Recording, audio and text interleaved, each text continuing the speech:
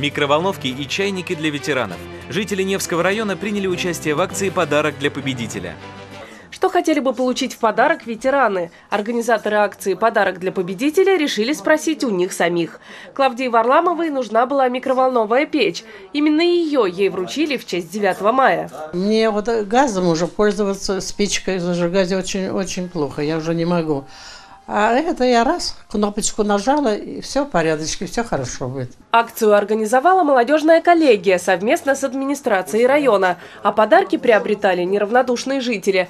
Волонтеры в торговых центрах предлагали выбрать что-нибудь из списка. В итоге собрали гораздо больше, чем планировали. Самыми популярными в виш-листе оказались одеяла. Ветераны достаточно скромные. Просили постельное белье, подушку, одеяло. Ничего особенного. Списки пожеланий закончились очень быстро. После этого желающие приносили подарки на свое усмотрение. Кто скатерть, кто конфеты, кто чай. В этом году в рамках акции поздравили 60 ветеранов Невского района. В эти праздничные дни посещаем э, всех ветеранов со словами благодарности. И это, конечно, очень радует то, что наша молодежь э, так активно подключилась э, к этой программе. Также для ветеранов Невского района в честь праздника пройдут концерты в Ледовом дворце, ДК Троицкий и Мюзик-холле.